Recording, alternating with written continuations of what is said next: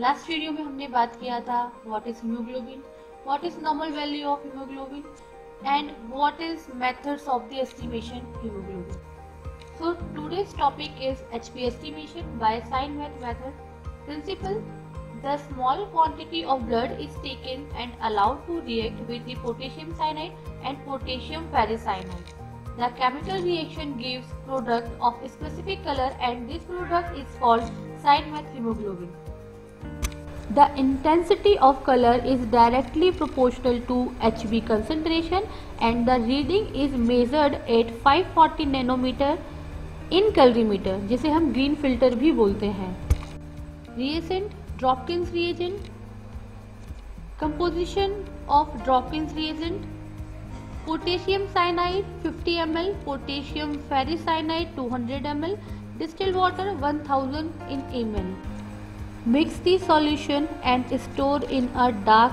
color bottle.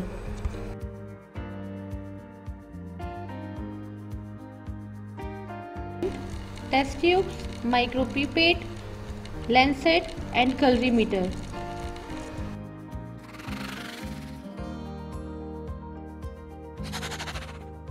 Procedure Take 3 test tube and mark T, S and B. T मतलब test, S standard, B blank. तीन test tube लिए हैं हमने, जिसमें हमने मार्क किया है टेस्ट, स्टैंडर्ड और ब्लैंक से। तो जो रिएजेंट है ड्रॉपिंग रिएजेंट है, वो हमें तीनों टेस्ट ट्यूब में इक्वल क्वांटिटी यानी 5 M L five M L and 5 M L डालना रहेगा। फिर ब्लड जो है, वो हम टेस्ट जिस पे हमने टेस्ट मार्क किया है, उसी टेस्ट ट्यूब में डालेंगे। देन हमें क्या करना है? स्टैंडर्ड जो कि हमें एस जिस ट्यूब पे हमने मार्क किया है, उसमें 0.02 पॉइंट ऑफ़ स्टैंडर्ड हम डालेंगे। और ब्लैंक मतलब कि डिस्टिल वाटर हम 0.02 पॉइंट ऑफ़ ब्लैंक ट्यूब में डिस्टिल वाटर को ऐड करेंगे।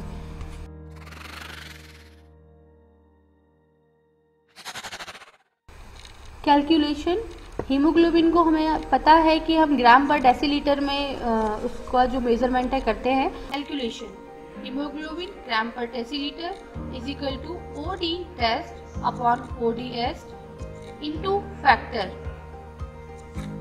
ODT मतलब optical density of test upon optical density of standard